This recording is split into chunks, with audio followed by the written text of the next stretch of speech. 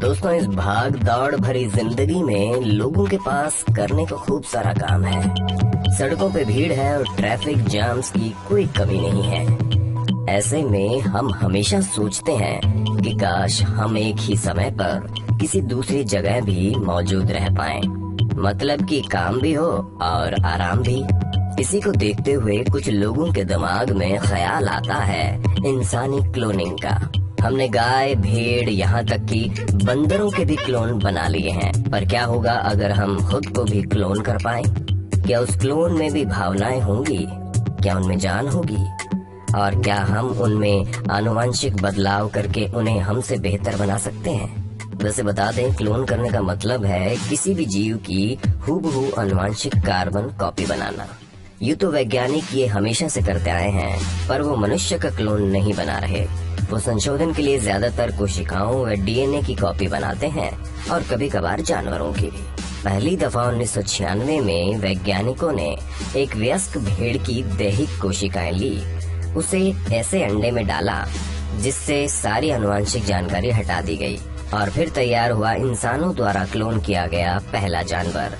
उस भेड़ का नाम डॉली रखा गया। तब से हमने कुत्ते, बिल्ली, घोड़े और बंदरों तक को सफलता पूर्वक क्लोन किया है। मतलब कि शायद वैज्ञानिकों ने क्लोनिंग की ये गुत्थी सुलझा दी है।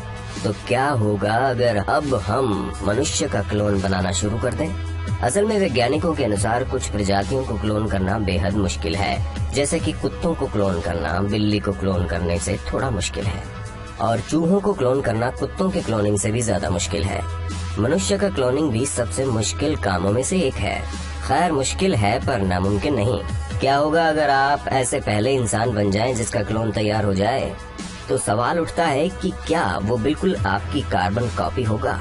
जी नहीं। बता दें कि आपका ये क्लोन न कि सिर्फ़ अलग व्यक्तित्व का होगा, बल्कि दिखने में भी थोड़ा अलग होगा।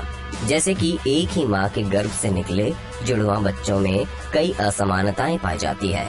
इन जुड़वा लोगों को अगर आप ध्यान से देखेंगे तो आपको समझ आ जाएगा कि किसी के गाल पे तिल है तो कोई दूसरे से लंबा है। आपको भेड़ के क्लोन में भले ही समानताएँ दिखे, पर लैब से आए हुए आपके अपने क्लोन को बारीकी से जांचने पर आपको लगेगा कि वो आप जैसा बिल्कुल भी नहीं। ऐसा इसलिए क्योंकि आपका व्यक्तित्व, व्यवहार और यहाँ तक की दिखावट भी आप जिस वातावरण में रहते हैं, उस पर निर्भर करती है। आप अपने डीएनए की कॉपी बना सकते हैं, परंतु आपके अनुभव और यादों की कॉपी बनाना मुश्किल है। इसके अलावा, आपका ये क्लोन आप जितना व्यस्त भी नहीं होगा, बल्कि आपको उस क्लोन बच्चे की आपकी आयु तक आने के लिए काफ़ी परवरिश करनी होगी। साथ ही क्लोन ज़्यादातर बहुत ही अस्वस्थ रूप में पैदा होता है।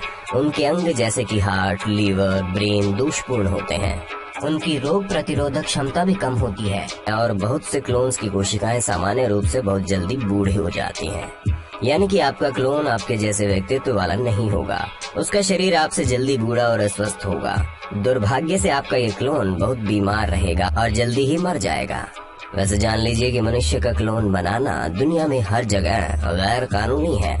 हमेशा से कोई न कोई वैज्ञानिक मनुष्य का क्लोन बना लेने का दावा करता आया है। पर कोई सबूत न दे पाने के कारण अभी तक मनुष्य की क्लोनिंग महज विज्ञान की एक कल्पना मात्र बनी हुई है। तो जनाब, अगर आप किसी बाहरी देश में कहीं घूमने जाएँ और आपको कोई आप जैसा ही दिखने वाला इंसान मिले तो ये मत सोच लेना कि किसी ने चुपके से आपका क्लोन तैयार कर दिया है। अरे भाई, उसकी सिर्फ़ शक्ल आपसे मिलती है।